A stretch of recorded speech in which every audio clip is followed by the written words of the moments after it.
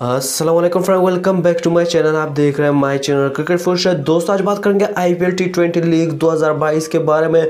तो दोस्तों, इस वीडियो में आप लोग को एक बहुत बड़ी ब्रेकिंग न्यूज़ बता दूँगा राशिद खान के रिलेटेड यकीनन दोस्तों, राशिद खान आईपीएल में कौन सी टीम में जाएँगे और तो उनको कितने रुपीज़ की पेशकश की गई है, कौन सी टीम ने की गई है। यकीन दोस्तों, पूरी जानकारी मिलेगी इस वीडियो में। दोस्तों, अगर आप भी राशिद खान के असली फ़ैन है तो इस वीडियो को लाइक करो। दोस्तों, अगर चैनल को सब्सक्राइब नहीं किया तो आप सबसे पहले हमारे चैनल को सब्सक्राइब करें और बेल आइकन को ज़रूर दबाइए। तो दोस्तों, अगर बात करें अफ़गानिस्तान के लेग राशिद खान के बारे में, यकीनन दोस्तों, बहुत ज़्यादा चर्चा हो रहा है राशिद खान के रिलेटेड अगर बात करें दोस्तों, सनराइज हैदराबाद ने राशिद खान को रिलीज़ कर दिया, यानी 90 परसेंट कन्फर्म खबर है। सनराइज हैदराबाद के अगर रिटेनिंग लिस्ट में देखा जाए, सिर्फ़ उसमें कैन विलियमसन है। तो एक बहुत बड़ी खबर है। अभी दोस्तों, एक बहुत बड़ी अपडेट आ रही है कि दोस्तों, लखनऊ टीम के ऑनर ने राशिद खान को 16 करोड़ इंडियन रुपीस की पेशकश की है, जो यकीनन एक बहुत बड़ी अमाउंट है।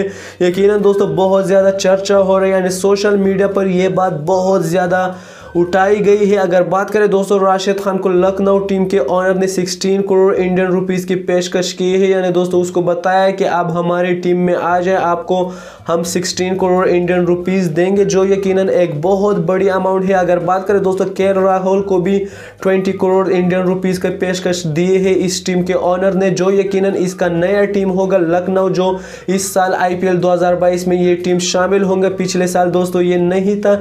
जो मेरे हिसाब से दोस्तों एक बहुत बड़ी अमाउंट है। अगर बात करें दोस्तों, राशिद खान एक बहुत अच्छे गेंदबाज है, एक बहुत अच्छे प्लेयर है। इसका पूरा हक बनता है कि इसको 16 करोड़ इंडियन रुपीस दे दे। और दोस्तों, ये सनराइज हैदराबाद ने इसको रिलीज़ भी कर दिया है। यानी आज दोस्तों कंफर्म हो जाएगा कि सनराइज हैदराबाद राशिद खान को रिलीज़ करेंगे। आज आईपीएल की रिटेनिंग लाइव शो होगा, जो दोस्तों आप स्टार स्पोर्ट पर भी देख सकते हैं। अगर डेट्स भी दोस्तों आपको जानने हैं आईपीएल के रिटेनिंग शो तो दोस्तों आप नीचे कमेंट बॉक्स में बता दिए। दोस्तों, आप लोग का कमेंट करना ज़रूरी है।